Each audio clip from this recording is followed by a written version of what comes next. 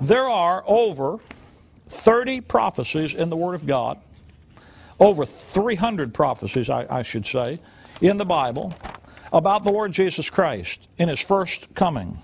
Over 300 prophecies. I want you to look at, at, at, at, eight of them and think, think about it just for a minute with me.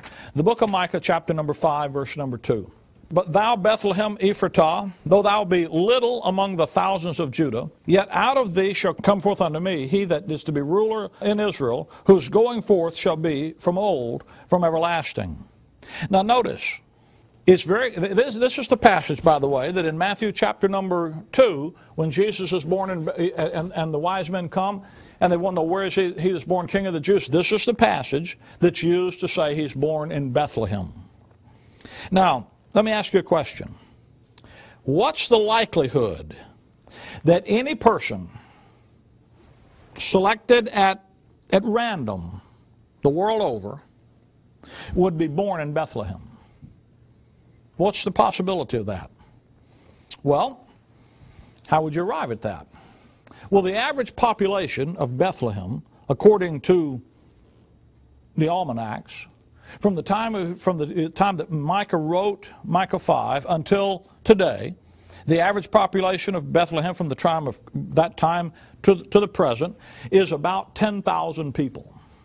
So you'd take 10,000 you'd divide it by the population of the, of the, well, the world during that period of time, which is about 2 billion. And you'd wind up with, eh, with a number that would be something in the, in the range of 1 in 100,000 people. Now, that's you, you, statistically, you'd come up with that. So the probability that somebody would be born in Bethlehem between the time of Micah and the time of today is about statistically one in a hundred thousand people. I just want to put I just want you to look at some of these prophecies and let's talk about them statistically for a moment. Zechariah chapter number 9, verse number 9. Rejoice greatly, O daughter of Zion. Shout, O daughter of Jerusalem. Behold, thy king cometh unto thee. He is just, having salvation, lowly, riding upon an ass, upon a colt, the foal of an ass. Now, of all the people, the Lord Jesus Christ here is presenting himself as king by riding into Jerusalem on a donkey. So let's just focus on that one thing. Of all the people from the time Zechariah wrote that till, till now, what's the probability of somebody presenting themselves to Jerusalem as their king by riding on a donkey? Now, I asked that question one time to a guy, and he says, Well, that's like one in a million. I mean, think about that. What's the probability? I'm, I'm going to be real conservative. And let's just say one in a hundred. Let's don't get too wild here. Now, I know that's not really realistic. It's got to be a lot more than that, but let's just leave it at one in a hundred. If you come over to chapter 11, verse number 12, and I said unto them, If they think good, give me my price, and if not, forbear. So they weighed my price, 30 pieces of silver. Now, of all the people who ever lived, how many have been betrayed or sold out for exactly 30 pieces of silver? Now, you know what that is. That's Judas betraying Christ for 30 pieces of silver. You say, one in a million. Well, okay. Let's just say one in a thousand. Let's don't do a million. Let's don't put that many zeros up there. One in a thousand. Is that okay? Is that conservative enough? We're not going to try to push this way out and be, we're going to be real conservative. What's the chance between the time Zechariah wrote that and today, somebody, how many people do you think have been betrayed for 30, exactly 30 pieces of silver? Well, let's say one in a thousand. Next verse. And the Lord said unto me, Cast it into the potter. A goodly piece that I was prized out of them. And I took thirty pieces of silver and cast them to the potter in the house of the Lord. Now, notice the specific things that are going to be taken up now. The amount of the transaction is 30 pieces of silver. The location that it takes place is in the, the temple in the house of the Lord. And who winds up with the money the potter does. Now, if you know book of Matthew and book of Acts, you know that's exactly what Judas did after he betrayed Christ. So of all the people that have ever lived, from the time Zechariah wrote that till, till, till now, how many of them do you think have been betrayed for 30 pieces of silver that was taken back and refused and thrown back into the temple and that wound up in the potter's hands? How many people? Well, maybe we ought to go back up to the first one and say maybe one in a hundred thousand on that one, because that one's a little more specific. Okay? I hope we're being conservative enough for you. Come with me, if you will, over to chapter 13 of Zechariah. One shall say unto, him that is, uh, uh, What are the wounds uh, in thine hands? Then he shall answer those with which I was wounded in the house of my friends.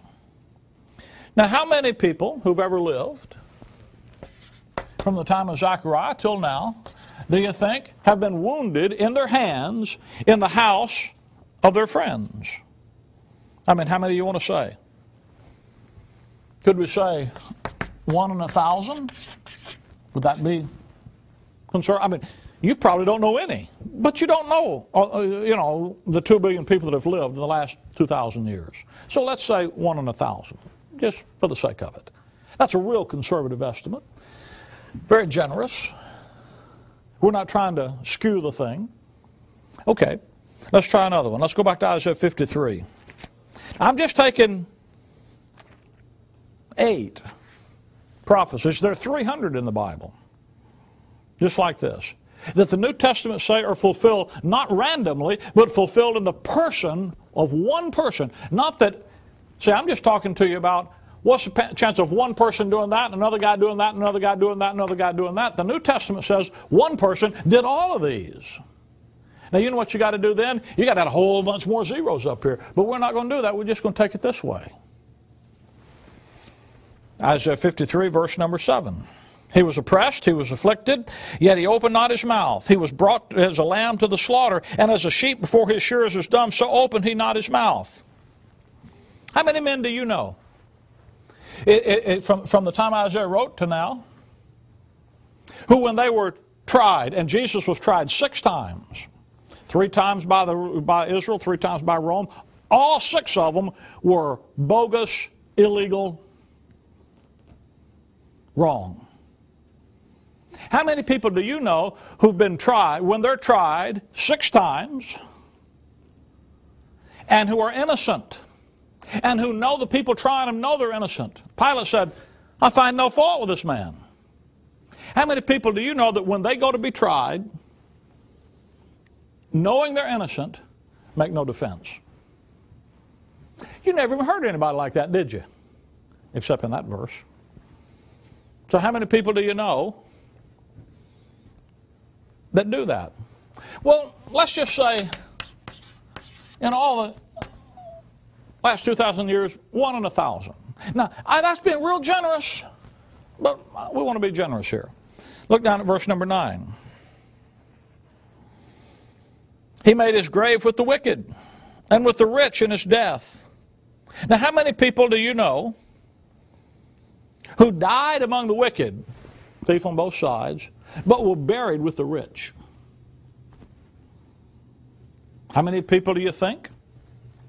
And all of and since Isaiah wrote that till now, made their grave died with the with the wicked, but made their grave with the rich. I'm going to say one and a thousand again. And again, we're being very conservative. Come with me to Psalm chapter 22. One more I want to give you. One more. Psalm 22.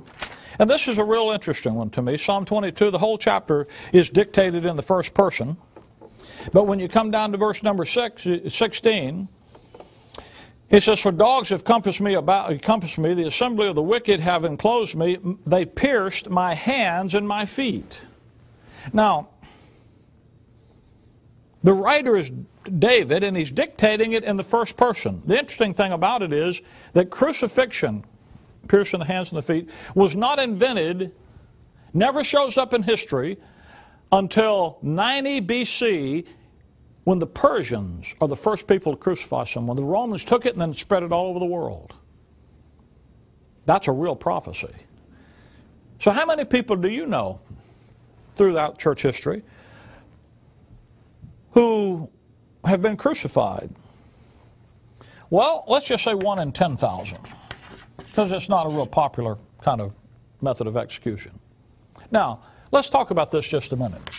Here are the probabilities that one person for each one of these, not compounded one guy doing one particular guy doing all, just the probability that one of these prophecies could have been fulfilled. There are eight different ones. The way you determine what the compound probability is, compound analysis, is you multiply them all together. In other words, when, when you, when you, in, in order to get the the uh, uh, composite analysis, you're going to multiply. If we got a room of 100 people, 50 are men, 50 are women, what's the chance of picking one person at random and it being a man? One in two. If you got 50, a, group of, of 100 people, 50 of them are left-handed, 50 of them are right-handed. What's the possibility of picking one person at random and it being right-handed? One in two, 50-50. But what's the probability of picking one person, uh, picking a man who is left handed? Well, that's not one in two, that's one in four. You multiply them together and you get one in four, 25%. That's how you get compound analysis. So when you add all this up, what you get is 10 to, to the 28th power. 1, 2, 3, 4, 5, 6, 7, 8, 9, 10, 11, 12, 13, 14, 15, 16, 17, 18, 19, 20, 21, 22, 23, 24, 25, 26, 27, 28. 28 zeros after a 10, 10 to the 28th power. That's the probability that that could happen. Now that's with 8. If you had 16 instead of 8, that turns into 10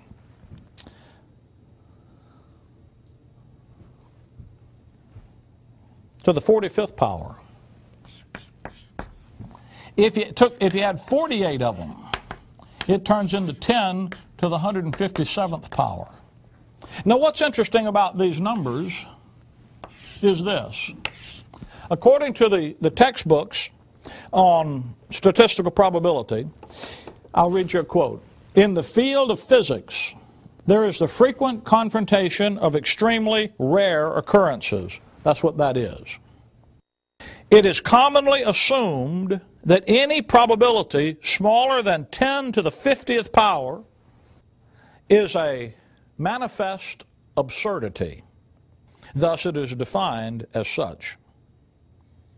In other words, to fulfill, to, to, to subscribe and ascribe the fulfillment of these messianic prophecies in the person of Jesus Christ to accidental occurrences, according to the mathematical statistical science of, of probability, is an absurdity. It's scientifically absurd not to believe the Bible. Now, to illustrate how big a number this is, if you count all of the atoms in the universe, all of the atoms in the universe are said to be 10 to the 137th power, according to the textbooks. There are 300 of these, but just 48 of them is 10 to the 157th power. Do you understand why John chapter 21 says that if all the books were ever written that would contain what Jesus did, the whole world couldn't hold them? The probability that Jesus is God, who the Bible that the Bible's right and Jesus is who he said he is, is a, is a probability that is so big all the atoms in the universe can't hold it. 66 books written by 40 authors over a period of 2,000 years that have one message. The Bible is manifestly demonstrated to be a book of supernatural origin written by extraterrestrial wisdom that lives outside of our time and space continuum. We're going to study more about that next week. And it is an absolutely scientific absurdity for you not to believe it, and fulfill prophecy declares it so. Jesus said, I did it that way. so that when you see it, you'd believe me. And that believing you'd have life, because that's what I came to give you, is life forevermore. When the Bible says that Christ died for your sins, you can trust it because it proves itself to be true on every hand, and it'll prove itself to be true for you. When the Bible says you can trust the Lord Jesus Christ and He'll forgive you all your sins, you can believe it. You can receive His life as a present possession because it's true. Till we meet again the same time next week, Maranatha.